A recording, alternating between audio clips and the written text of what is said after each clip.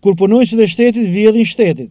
Ngjarja ka ndodhur në rrethin e Krujës. Policia ka njoftuar për arrestimin e tre personave nën akuzën vjedhje e energjisë elektrike dhe shpërdorim detyre. Dy prej tyre ishin punonjës të elektrikut dhe gjatë zbatimit të detyrës kanë punuar në kundërshtim me ligjet shtetërore. Nga punonjës të kontrollit të matësave të energjisë elektrike, ata i kanë manipuluar këta matësa, duke favorizuar një person të tretë në dëm të shtetit që u paguante rrogën.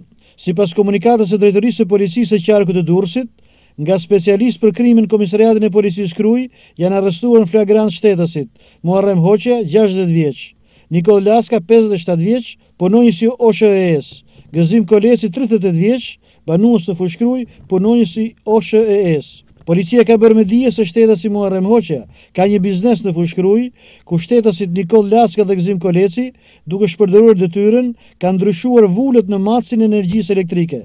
Pas konstatimit të kësaj vjedhje, materialet i kaluan Prokurorisë së Rrethit Gjyqësor të Krujës për veprime të mëtejshme për veprën penale, Vjedhje e energjisë elektrike ose të impulseve telefonike parashikuar në nenin njëqind e tridhjetë e shtatë të Kodit Penal në ngarkim të shtetasit Muharrem Hoxhja, vjedhje e energjisë elektrike ose të impulseve telefonike dhe shpërdorim detyre parashikuar nga nenet njëqind e tridhjetë e shtatë dhe dyqind e dyzet e tetë të Kodit Penal në ngarkim të shtetasve Nikoll Laska dhe Gëzim Koleci.